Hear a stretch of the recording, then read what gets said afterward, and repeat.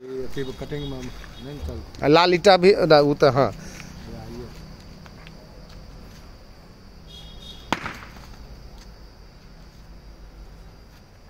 वही एक दीजिए हाँ।